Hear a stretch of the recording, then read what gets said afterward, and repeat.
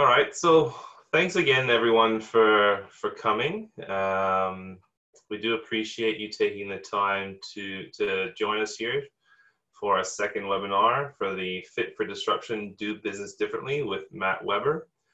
Um, I just wanted to do a bit of housekeeping to begin with. Can everyone hear me? Can you raise your hand? There's a button to raise your hand. Can you all raise your hand that you can hear me? Yep. Okay. It certainly looks like everyone can hear me, which is great. Um, now there is a, just again on the housekeeping side, there is a Q&A control button. So if you have any questions throughout the session, feel free to click that. Uh, and we will be running a couple polls as we go as well. Uh, the Q&A session will deal with at the end of the, the webinar. Matt and I will, uh, I have a couple questions I want to ask back for the group as well. Uh, but if you have anything you'd like us to address, we can certainly do it there too. Okay, so um, all right, so let, us get started. Um, again, we're here to talk about Matt's new book, Fit for Disruption: Do Business Differently. Um, now, before we jump into Matt, for those who don't know myself uh, and Bastian Consulting, um, I am the owner of Bastian Consulting. We are a boutique search business that covers primarily the supply chain function across Asia Pacific. I myself have been doing search in this space for about 10 years now. Um, and that's actually how uh, I came across Matt. Um, Matt was a client of mine back in 2014 when he used to work for Target uh, out of the Hong Kong office. And I actually recruited someone into Matt's team, um, Joyce Chen and now we've just kept in contact ever since then. And you know as relationships develop over time they can take a many a paths. But i'm certainly very fortunate and um, happy that we're at this point now with matt and here to talk about this book. Uh, for those who don't know matt i'm just going to read a quick intro. Um, matthew brings over 20 years of international experience leading large scale operations finance and commercial functions and transformation programs he has worked across the globe with large organizations undergoing immense change, developing and applying the principles of the Fit for Disruption model. Matt holds a Bachelor of Business from Monash University and has completed the Stanford Lead Program in Corporate Innovation. He is also the founder of the Menard Group, a specialist strategy program and delivery training organization that is focused on driving business performance by developing commercial, operational, and innovation capability the Menard Group trans transforms with profitable impact, builds enduring capability. So that's a bit about Matt. Now I'm just going to pass it over to him, and he's going to walk us through, you know, why he wrote this book, the, the context and the, the principles of the book and the model. And I hope you enjoyed as much as I have. So Matt, I'll pass it over to you. Thank you very much. Uh, thank you, Tony. Um, obviously, thank you for for, for having me and, and giving me the chance to, to talk about Fit for Disruption. Um, uh, but but also thank you for the for the kind words and, and for the for the introduction. Um, as you mentioned, uh, you know, we've known each other for a number of years. So, um, and you're right. You know, the, relationships take on on a different path, and and uh, we're very lucky to have a, a, great friend and partner in yourself. So, thank you, uh, thank you for having me on. Um, hope everyone is safe and well. Um, I know it's tough times out there, and I do want to thank everyone um, for taking the time to join today. It's um, it's it's um, you know I, I, gather for most people you're going to have uh, lots of priorities and demands uh, at the moment. So if you're taking some time out of your busy schedules to um, to to see if you can to glean any support or information, um, you know, that's not lost on me. So I'll, I'll, certainly, I'll certainly do my best to hopefully have you walk away with uh, in a better position than what you were when you started. But I, I sincerely do hope everything is well for um, uh, for, for everyone uh, out there. I will. Um, must I say, in Melbourne, it is absolutely freezing today. Um, it was certainly out of summer, so um, so the woolies have certainly come out. Um, but today, what I did want to do is um, is talk about the book and talk about why I wrote the book, uh, and then I'll, I'll, we you know we'll touch on COVID nineteen and and how that fits into it because this book was written pre COVID nineteen, so I do want to place that into context. and then, as Tony said, I'll, I'll talk through uh, what the model uh, is in the book and the the attributes that that in the model that sits under the book. But importantly, at the end, we'll have a. Um, I do want to throw a little bit of a challenge out um, out to this group. So hopefully we can get um, um, you know get people into a positive mindset and and also into an action state. Um, you know, again, making sure that we make the most out of uh, out of this time. Um, okay, just quickly before we before I talk about uh, the disruptive, well, well, it sort of blends into this, I guess. Why did I write the book? I think there's um, you know, it's it's been a long, uh, it's it's been something I've wanted to do for a long time.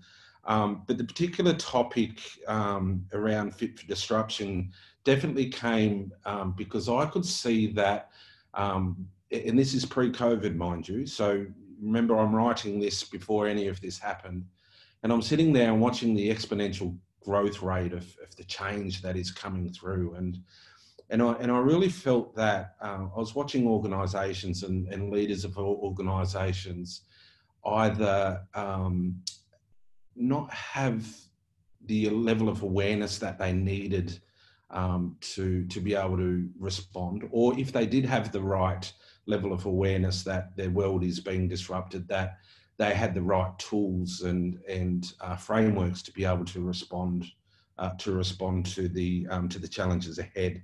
So that was that was very much a, a driving uh, a driving force and behind writing the book. And and and if if we talk about um, what some of the disruptions are that I that I discuss in the book. Um, weirdly, very weirdly, in the first draft, and it got cut. I actually spoke, I actually spoke about how would the um, how would the World Health Organization deal with a pandemic? And um, that never made the cut. And I'm sort of glad it didn't. Um, but the change, the, the, the, um, the disruptions that I was talking about, you know, may seem fairly obvious, um, but they, they include things like um, digitization and, and, technology. And a lot of these, particularly for a lot of the, the people on this call that are supply chain focused and centric, it, it has a particular meaning um, uh, to everyone. Um, you know, digitization could be around visibility systems, technology, it could be robotics. Um, but then there's um, disruptions around globalization, and we, we only had to see what happened recently with Trump, or um, you know, America and China.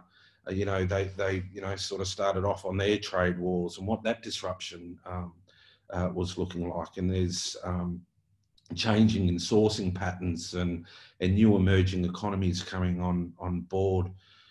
Then we have this, this now economy, you know, now everything's digitized and we've got access and information. So um, where do you, you know, so people, people can, people want things and they want it now. And, and, you know, sort of, um, you know, just, I just look at my children and, and the access that they, they have they have you know even even if it's not materialistic even if it's even if it's information like i look at when i my my son's doing year 12 this year.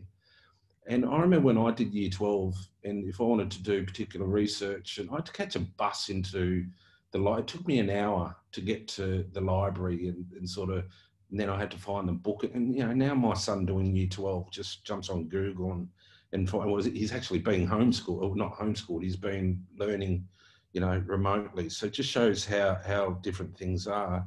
Um, we've got a customer-driven economy, so definitely the customers driving driving the outcomes, whereas before it might have been a little bit more supplier-led. And then we have everything from the, the the gig and contract and economy, you know, all the Ubers and um, all, all, the all the delivery apps and and and all the all those types of things coming on. It's a, it's really a new way of working, and and it's going to throw up new challenges.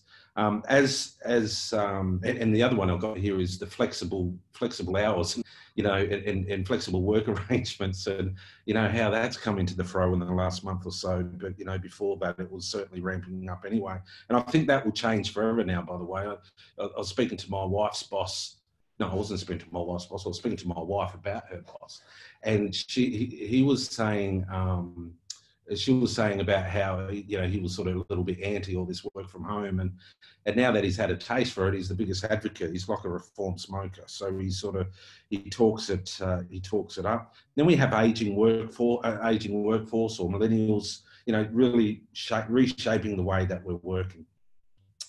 So there's all the, there's all that disruption pre-COVID. So what does that what does all that mean? And I think a lot of that means is around having you know the right mindset and having the, the, the right tools and capabilities to be able to respond. But most of all, we need to be uh, adaptable and adaptable in our approach. Um, COVID, uh, COVID nineteen. So, as I, I, think I mentioned before, I wrote this book.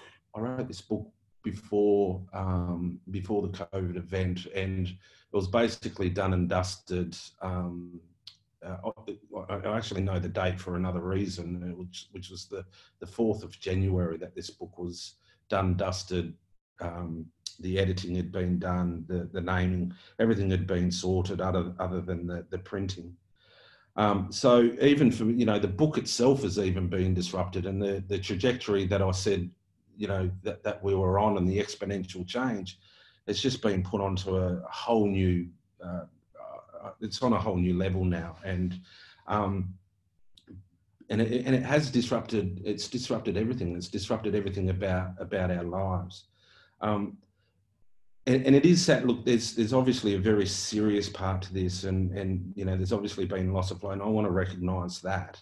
Um, and I'm not at all trying to when I when I start talking about the opportunities amongst it. I, I'm certainly not trying to dismiss the seriousness of what's happened and the, the pain and suffering that many people have um, have endured. Um, I think I, I, I, do want to though move into the direction of it, it, has happened. Our world has changed, and for any of us that think for a moment that life will be like it was pre-COVID, we're, we're mistaken. Things things have changed some not for so not for good reason or not for not for good but but many many good things will come of this. And it may even be the acceleration of digitization as as um, as the example. Um, we need calm and and reassuring leadership and decisive leadership through this time. People people are looking for really really strong leadership and and the people on this call have a very unique um, part to play in providing that leadership um, it's also because these are really uncharted territory, uh, uh, uncharted waters. Um, and as leaders, it's really, really important. This has never been done before. Um, so it's okay to ask for help and it's okay to, and now more than ever, should we be working together to, to, to get an outcome. And, and I, I, I'm quite optimistic that I believe that will come out um, much, much better and stronger for it. There are opportunities in amongst this, and I know for men, I know for many people that will be hard to see. Um, but you know, I use the examples, and I know it's slightly different. But Air, for an, for example, Airbnb and um, and Uber were created through the global financial crisis. Um, Shakespeare wrote Macbeth through a plague um, and even Sir Isaac Newton um, developed the theory of gravity um, through a pandemic. So certainly can, some good can come if we uh, apply our minds to it. So that leads us, um, so that's, that's COVID-19. We'll touch a bit more about that on the opportunity um, towards the end. So what I want to do now is I want to quickly talk to you about what the attributes are of the fit for disruption model. The book talks firstly about what the disruption is, but then then it gets into the the, the you know 80% of the of the book, which is about well, how do you respond to that? What is the framework? And there are three attributes, and three for very good reason. Um, to, you know, it needs to be simple, and, and, and we need to be able to um, break it down. But but these these ultimately become um, what's important, and and are the and even without the Fit for Disruption uh, book, I watch leaders and organisations, and those ones that are successful um, have have really mastered these three um, these three attributes. the one point I, do want to make, it doesn't matter where you are in your business today. So you can be unprofitable, you can be big, small, um, you could have massive COVID challenges. You may, um, it, would depend, it doesn't, doesn't matter where you are. You could be in Hong Kong, Europe, Australia, it could be a training organization, a big supply chain organization. The principles are the same uh, for all and it doesn't matter where you start. And it isn't about being perfect. It's about progression. It's about continuous improvement and, and working towards um, improvement. So the three attributes the first is um, about being commercial um, no surprises this is i come from a finance background so i started my life as an accountant um, and then worked my way through into into many supply chain roles and um, and leadership, operational and leadership roles. Um, but this is very much about setting a base and setting the foundation. And if you have good commercial foundations, your business um, is is well positioned to be fit for disruption. And there's no no point creating really big fancy solutions, and you know if you can't make it happen, um, or if you can't um, you know, if you can't solve your customer problems. So you need to be commercial to start with.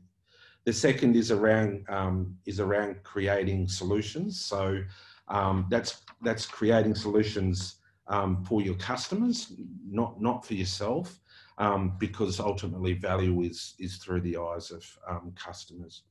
And the third attribute is affecting change. You know, we're very very good at talking about things and pontificating and and and coming up with great great ideas but unless it's done it's not done it has to happen and it needs to be led so um, so affecting change becomes uh, critically uh, critically important making it happen getting it done um, so then I'll jump into I'll jump into a slightly some more detail on the first attribute, which was the commercial. So this was around, remember, around setting a foundation. And the first element of that is around developing a strategy. That's very much the, um, the why, the what, the how. Um, it's about setting a North Star. And a really, really important point to, to make here is, and, and we would have seen it in COVID, you can't have a strategy that's fixed. You need it just needs to be a north star. You you, you need your plan, but you also need to be able to pivot based upon um, based upon what's uh, happen, happening around you.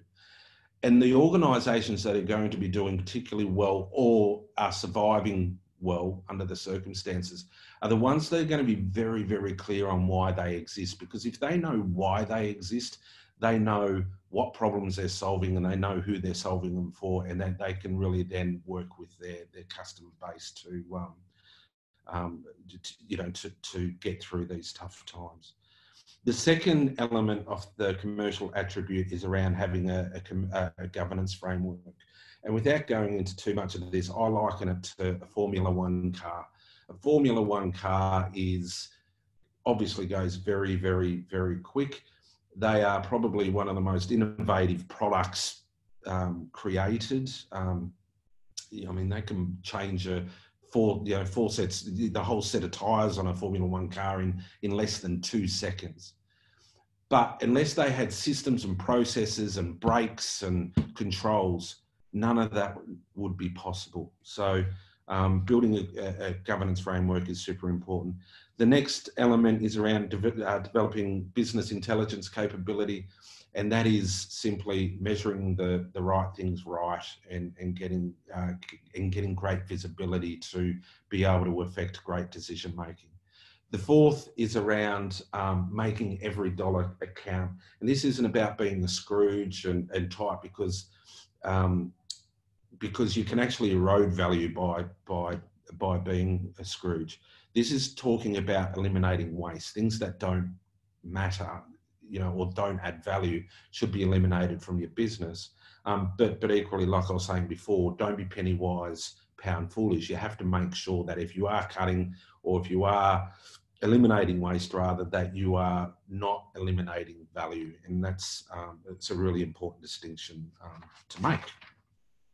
So that's the um, that's the commercial model. What we uh, what I wanted to do now is just quickly touch on. Um, uh, I've got a couple of case studies in here. I'll, I'll, touch on them very quickly, very, very high level, just to bring home some points. And I want to use Blockbuster as an example. Blockbuster were founded in 1985.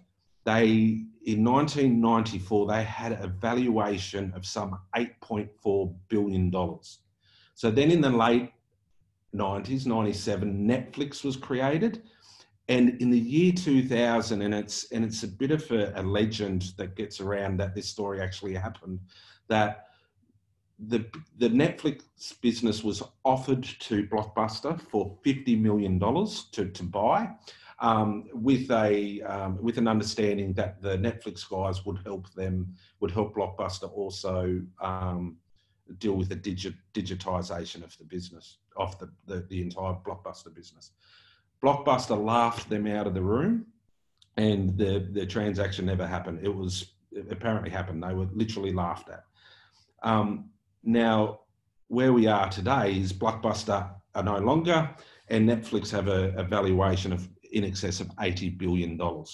Um, now, a couple of points there. The first is Blockbuster probably didn't understand what business they were in. They thought they were probably in the business of D- DVD hire um, or home entertainment versus content distribution. So I think they fundamentally missed what they were in there. And if they truly understood their customer, if they truly um, uh, linked in with their customer, they would have understood what that was. And they would have also seen the emerging trends coming. And they didn't see the value and the, the, the, the how digitization was going to impact um, their business. And I throw it out there for any supply chain organization, because this is predominantly a supply chain um, audience. Um, you know, those organizations that aren't adopting digitization, that aren't adopting automation, um, that, are, that are not understanding what part they play in the entire value creation are going to find it very uh, difficult in times to come and, you know, run the risk, a great risk of becoming a blockbuster. Um, so just with that, I might pass um, I might pass it back over to Tony now to to, uh, to run a quick poll question. Sure, thanks, Matt. So we've got a couple polls today. Um, let me just launch this. Sorry. So first poll today is if you had the benefit of hindsight, what would you have done differently pre-COVID in terms of your commercial structure and disciplines? So the options are be very, clear on why, what, and how your business strategy. Uh, build a governance framework that helps you control but doesn't paralyze. Measure the things that mattered most and not the things that didn't be ruthless on eliminating waste or all of the above. So if you guys wouldn't mind just answering those and we'll just wait for everyone to finish and then we can see what uh, the group thinks.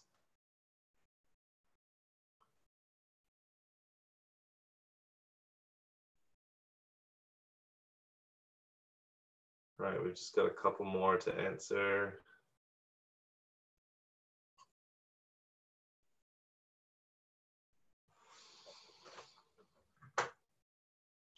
Okay. Right, well, we're going to cut it off here. Okay, so collectively, I think the the biggest focus has been all of the above. I think all of them kind of resonate with everyone. Matt, what would your response be to this kind of thoughts? Yeah, look, there's there's absolutely no right or wrong uh, answer, Tony. It's it's it's situational, right? Depending on what's happening in um, everyone's organisations or, or, everyone's circumstances. Um, and again, it makes goes back to that point. It doesn't all the all the parts don't have to be perfect um, either, but there will certainly be some things that um, that resonated with with some more than others. Sure. Okay. All right. Well, thanks for that, guys. So Matt, you can keep going. All right. So now, um, thanks thanks for contributing to the um, to the poll. Now we'll um, we'll jump into the second attribute of the of the create uh, of the fit for disruption model. So remembering that there's three parts. There's commercial, create, and change. So we're dealing with the second part now. The create model. The first element of that is around um, around fostering an environment. Sorry, I'm on the create model. Yeah. So creating a um, fostering a, an environment that gives people um, the the opportunity to create.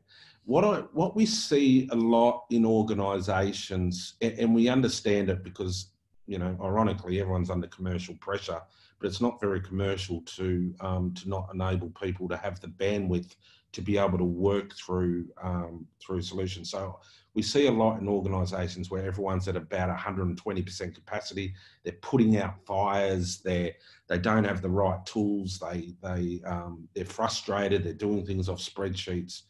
Um, so so you need to create you know, and, even workspaces. I mean, that's why one of the biggest um, benefits of doing a, a 5S lean program is so good. Just having a clean, clean, organised workspace becomes so so important, and that helps foster uh, foster a creative um, environment to think through solutions.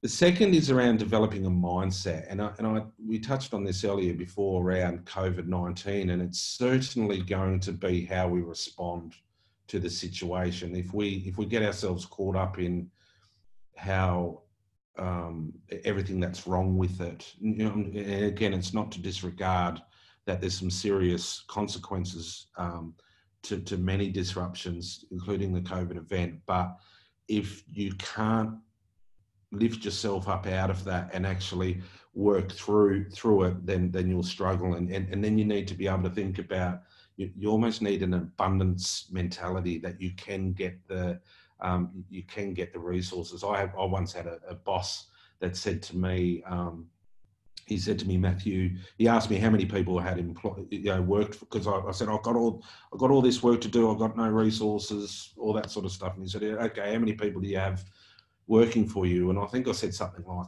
I don't know, however, however many people were working for, were a direct report at the time. And he said, it's rubbish. He said, everyone works for you. He said, I work for you. Um, you know, your service providers work for you. The CEO works for you.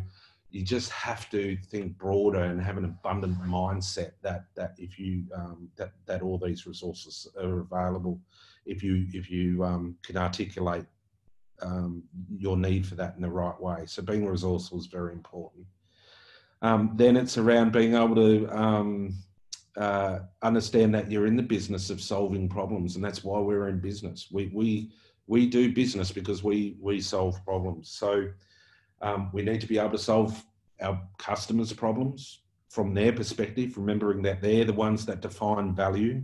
Um, you know, it is about what they pay for, um, and that's that's how how value is ultimately um, how ultimately it's it's defined, but also also not to be you also need problem solving frameworks. And again, uh, you know, I'm, an advocate of lean, so that's where you know, some of the, the the the lean problem solving techniques are actually quite powerful because they they give you a um, they give you a strong framework to do it. But there's some more modern um, uh, applications that can be used as well to, to, to, help in that journey, which I touch on in the book as well. Um, and then fourth is about doing, just, just, just, just, you know, um, you, you learn by putting it out there and getting people to provide feedback and making it quick and iterative and, and, just making it happen. If you, I used the example, I was reading an article recently and it was an emergency doctor or someone that was in charge of the, the, the emergency clinic at a hospital. And he was saying the enemy, the enemy of um, good emergency healthcare is perfection. He said if, if people try and be perfect, um, it's too slow and people die. And um, you know, and that that resonates, and I think that resonates in a business environment um, as well. So that's the um, the create model. So remember, we had the foundations with commercial. Now this is about creating solutions and and creating new ways of doing business. So um, so that's the that's the second attribute. The case study um, or, or, the example I wanted to put up here is is Flexport. And for those that don't know who Flexport are, they're a um, it's an organisation founded by a guy named Ryan Peterson who lives in the Silicon Valley. Uh, Ryan Peterson is a serial entrepreneur, but he um, he has no freight forwarding international trade experience at all, none, zero, zip and he started a company um, that, for those that don't know, so Flexport are a, a, digital freight forwarder. Basically, that's what they are, digital freight forwarder. And they have a valuation in, a, in excess of $3 billion. So a guy has created with no international trade or freight forwarding experience, a business worth over $3.2 billion. He makes the point that 100 of the, the top 100 uh, freight forwarders in existence today um, were founded before Netscape was founded. And, and for those that don't know, it was a, a search engine that existed between 94 and 2003. So, um, so of the top 100 freight forwarders, um, none of them are new. Only Flexport have come into that at the moment in a highly fragmented industry run by spreadsheets um, and and what what was seen through the COVID uh, environment was that um, Flexport were quickly able to attract a whole heap, a whole lot more customers because they already had the, the, the platform and capability to be able to to respond to the um, to to the challenge. So um, there's I'll give Tony a link. Actually, there's a great podcast where where Ryan Peterson talks about um, his business and how they were created the podcast was pre-COVID, so um, but it's a very, very, very interesting listen. So I really encourage everyone, and and it, and it really, I think what it does is it really highlights the level of disruption that can come, and a lot of people, a lot of organisations are going, it's not going to happen to me, it's not going to be um, so harsh and impactful. Well, Flexport's a great a great example, and and why we should all um, uh, take take warning. I guess. Okay, so then the, the third element of the fit for disruption model is um, change. So this is around making it happen, getting stuff done, um, not talking about it, doing it. Well, I mean, you have to do a little bit of talking about it. You have to do a little bit of planning. But if you if you're not actually spending 90% of your time doing then and, and making it happen, then something's wrong with um, with with your equation. Um, leading the vision, leading the change effort, um, touch, you know, any great organization has great leaders. Any change that happens has, you know, we touched on Flexport there before. That is because it is led by someone great, you know, Ryan Peterson. We don't all have to be Ryan Petersons or Steve Jobs, but we can all, in our own right, be good leaders. And if you take um, the situation at the moment, again, calm, decisive leadership um, is, is what's required, and that can be quite comforting for people. And that which gives the second element, which is around giving people confidence. So in a normal change environment, that's that's very very much around um, people believing it can be done, and why things like quick wins are so important. In an environment like today, it's it's probably more going to be around making sure that people can see that there's a plan, people can see that there's a way through. And even if that's going to be uncomfortable, and even if the even if the the journey is takes them to a place that is not as great as what it was pre-COVID, people are, um, are much more confident when they have an understanding of what's going on around them, even if that's not the best best situation. You actually find it a lot with um, even when people are redundant and so forth, people people are okay with the redundancy. They're not okay with the lack of lack of um, uh, planning and, and, understanding that sits around it. Um, but but giving people confidence and giving people confidence of what they can do during um, during and after is is super important. The third element is empowering your people when I talk about, mate, I touched before on leadership that you need calm but decisive leadership. Decisive leadership by no means means disempowering people and, and you making all the decisions. It probably actually means uh, means the opposite. But but it just means that you're able to decide very quickly. But people need the right tools. People need um, be, to be able to call upon the right resources as they need. People need to be trained. People need to be developed um, and and people need on the job skill training and and and help them adapt to to the environment that they're that they're operating in. Um, and ultimately, people, in particular frontline staff, are the ones that are going to have a better understanding of the customer. They're going to have a better understanding of the problems that need to be solved. then that leads then into the fourth element, which is around communication. There cannot be ever enough communication provided that communication is the right type of communication. We're seeing in times like at the moment, there's there's absolutely a saturation of information out there where people can't wait, uh, can't sort of see it. Um, but that's why if you have really, really clear, articulate communication that's consistent and, and, and good and, and meaningful, that becomes very, very powerful. And being creative in how you can get that message out there amongst all the noise is um, super important. And, and remembering that um, communication is is about the receiver of that and about what they understand. Just because you've delivered it and written an email or having a conversation with someone does not mean that it's been communicated. It's only communicated when it's understood. Um, and then fifth, no surprise, it's um, it's around building the right team and having the right people on the bus doing the right things at the right time, um, making ensuring that those people are, are all culturally aligned. So that's um, that's the change model. So I've been through the, the, the, the, entire fit for disruption model now, which was the commercial model, which was setting the foundation. Then it was the create model, which was around being able to develop and innovate new solutions. And then the third element to the model is around being able to change and, and make, make it happen. Um, so then the the final um, the final uh, Kate. Oh no, sorry. We're actually going to run to. Uh, well, I'll throw it back to Tony so we can run the second uh, poll question.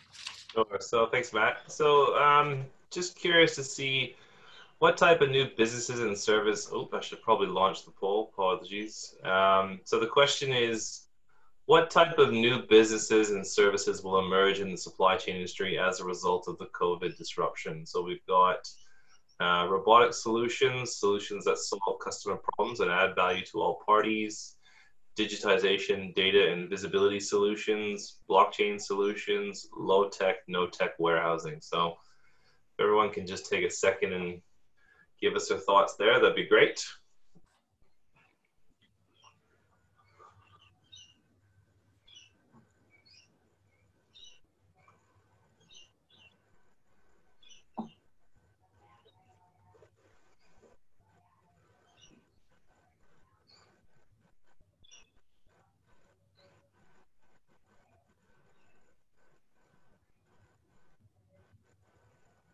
All right, so we're almost done. Just got a couple more.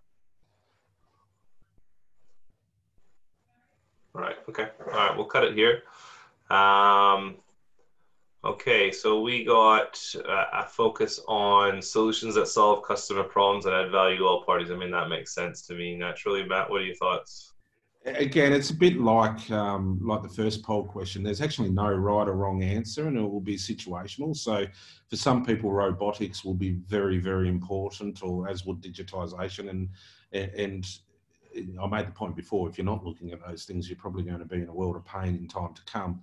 Um, but sometimes, equally though, we can. I see that often. You know, people go, "Oh, we need to get into artificial intelligence and blockchain, and we need." I don't know, we need cryptocurrency, we need all this sort of stuff. We need need to do it, do it, do it, do it. And but I think often what happens is they don't understand why they're doing it, and they don't understand how that actually is solving a problem that's actually adding value to a customer.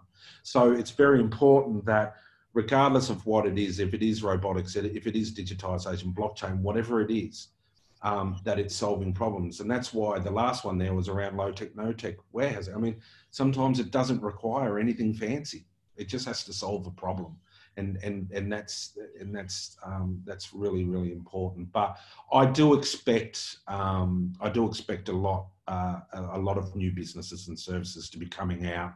Uh, in the in the near future, with um, those elements, robotics, digitization, data intelligence, and so forth.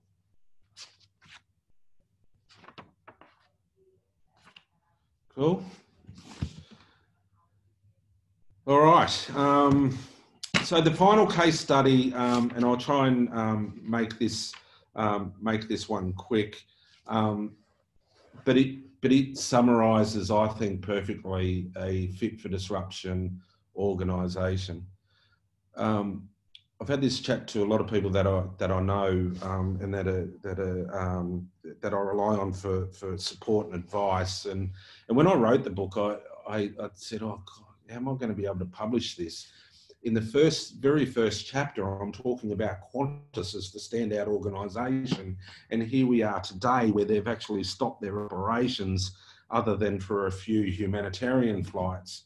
Um, and they've had to lay off, you know, 90% of their workforce. Da, da, da, da. Their major competitor, Virgin, as we know, is, um, you know, they're, they're suffering a world of pain being an involuntary administration. But I think it actually makes the point, and, and the advice I got back was, no, it actually makes the point nicely. Jet, um, Qantas have been able to do some really great things in an industry that is, forget COVID, is absolutely cutthroat.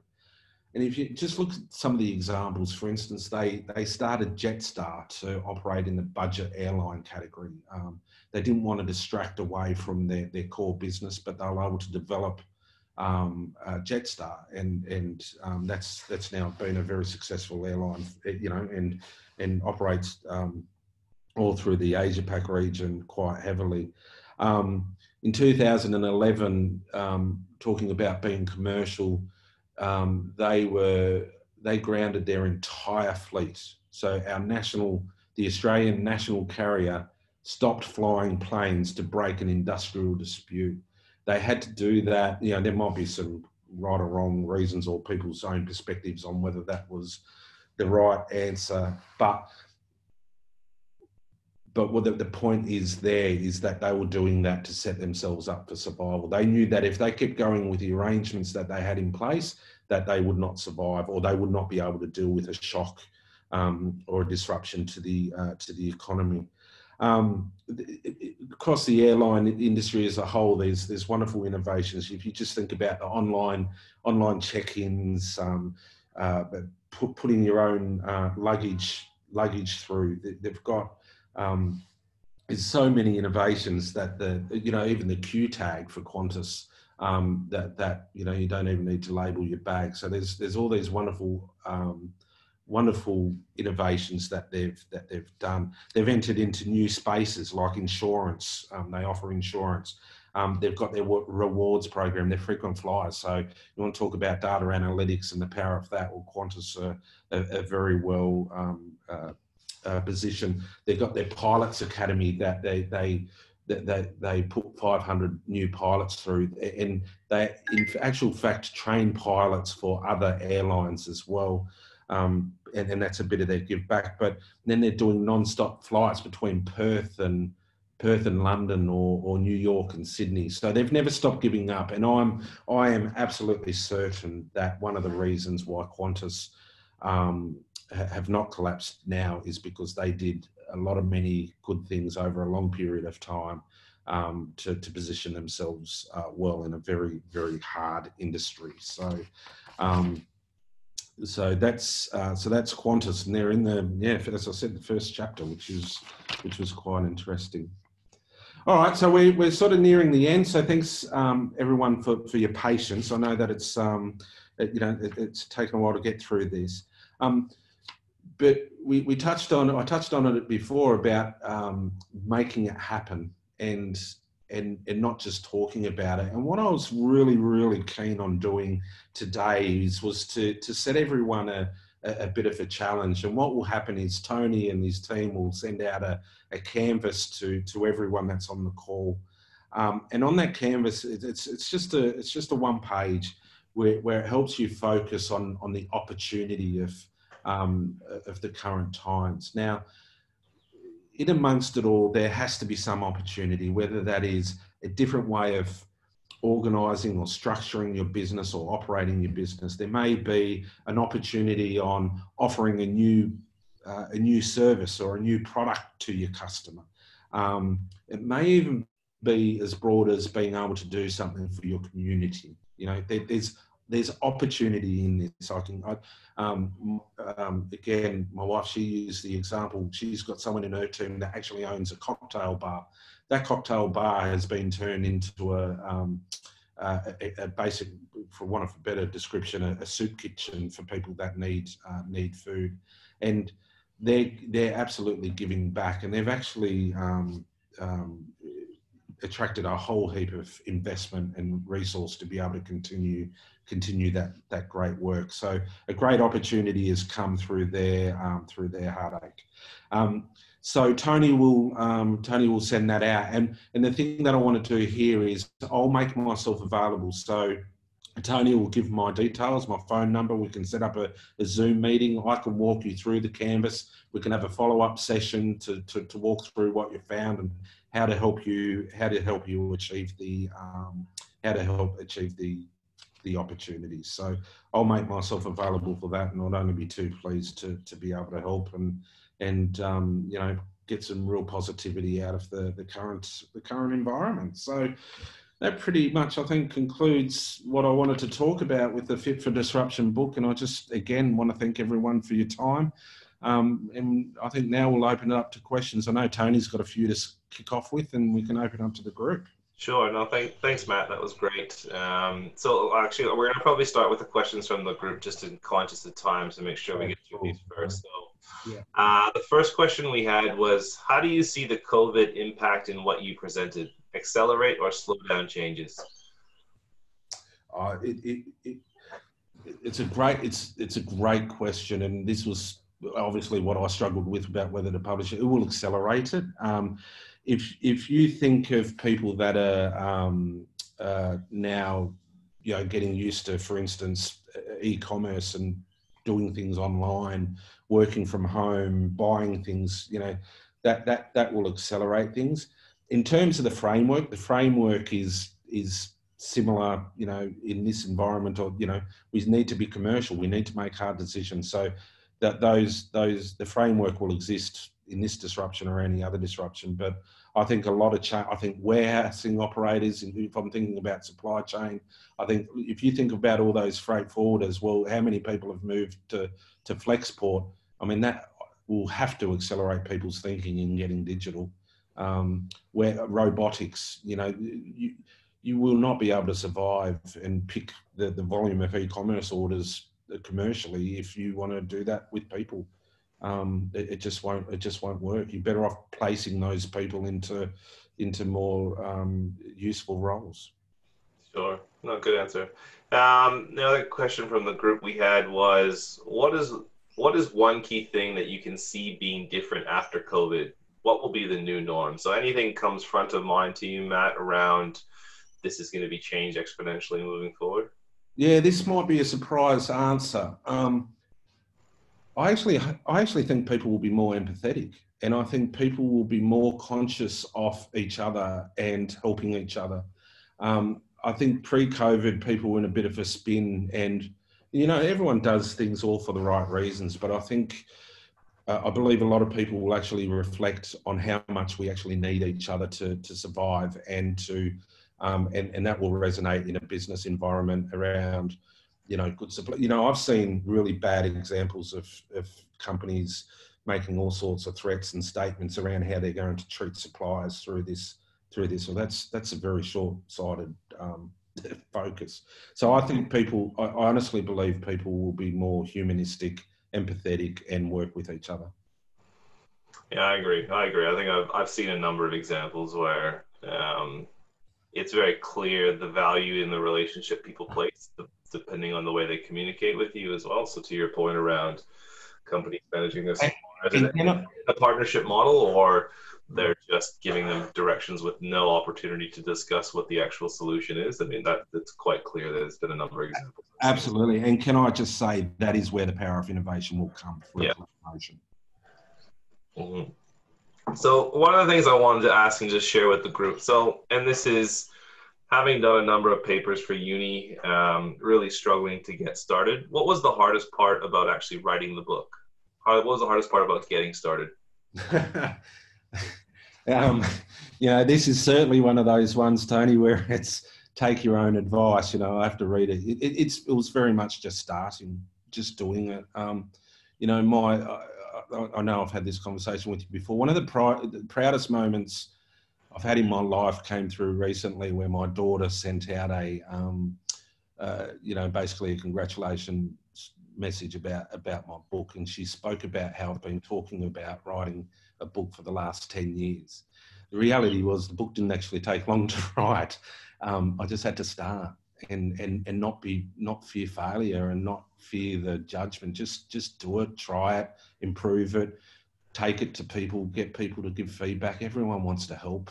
It was it was it was actually a remarkable process for, for that perspective. And and and but to answer your question directly it's just get started do something whatever it is.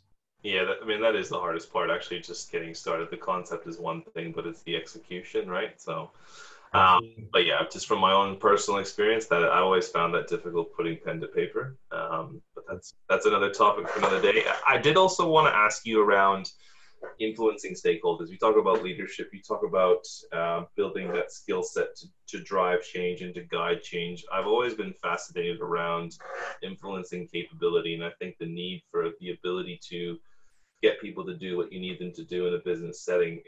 Given the current climate, what would you what would be the one skill set that you would give supply chain professionals now, or, or recommend they look at when it comes to improving their influencing capability?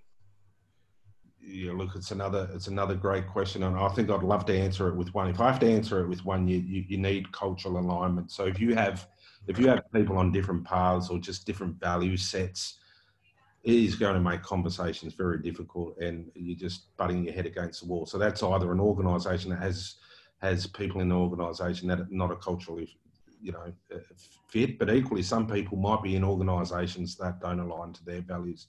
And if you're consistently having conversations and butting your head against the wall i, I believe most likely it's because uh, and, and, if you can't influence it's likely because you don't have an alignment in values to um, to start with. But equally, but but then just to extend on that, you do need to give people that's very much that empowerment and making sure people have the tools and the training and being able to have the space to be able to articulate, um, yeah. communicate rather than be you know um, ill prepared, ill uh, you know don't have the right tools and equipment and and then and then makes it very difficult to influence. Sure. No, absolutely. And look, the final question, I know we've dragged on for probably longer than we anticipated, so appreciate everyone sticking around. Uh, last question I wanted to ask was, obviously tech tech is the the buzzword digitization embracing technology uh, you, you talk about it in your book matt around the ability to um, embrace intelligence gathering and intelligence capability through technology within a business do you see that embrace or that willingness to try or ingrain tech further into business as a ge- generational trait, or do you see that across all? I reckon that's brilliant. Right? That's that is that is such a cool question, and I'll tell you why it's cool. Um, you look at Facebook, right?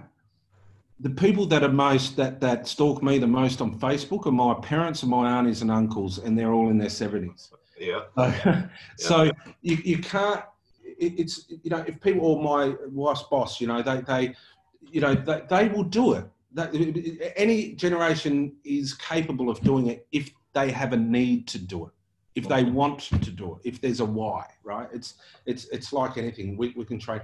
Now the only difference to that tony is obviously my you know um, i think i had a commodore 64 was the first thing i used i, I can't even remember. But my children have you know iPads and computers and you know apples or whatever it might be. You know, my, my father had a their mother had a typewriter. You know, so and they're going to be brought up in different educational environments. So there will be a gap in that, but there won't be a loss of appetite to to adopt it, provided there's a why. Mm. Okay, well, that's fair enough. I guess just the, the question comes from supply chain logistics having this kind of stereotype of being an old school function in terms of behaviors and that there's a that gap and that change and that dynamic shifting through the the new wave of leadership that comes through as well and obviously yeah. what, what I'll what I'll say though to that though Tony is if that you're not prepared to adopt or your people are not prepared to adopt that type of mindset and mentality that yep. that is part of our new world then you then then that, that's going to be very tough going sure Okay. Well, look, I am um, conscious of time. I, I think we're going to wrap it up here. So I wanted to say thanks again, Matt, for taking the time to, to run this through with us. I really do like the book. I think, highly recommend everyone go go find it. Now we're we're gonna send out follow up emails with the recording, with the links for the book, where to buy it as well if you're interested, and Matt's contact details for those who'd like to have a conversation with Matt about anything relating to today or just generally life as as a whole. Yeah, um, and, and, the opportunity, like in taking on that challenge, I think that's important. You know, more than happy to help. Yeah, we'll send that uh, the the schematics through as well. So um, thanks again, everyone, and we're going to end it here. And I hope have everyone has a great weekend and uh, stay safe. We'll talk to you soon. See you guys. Thank you.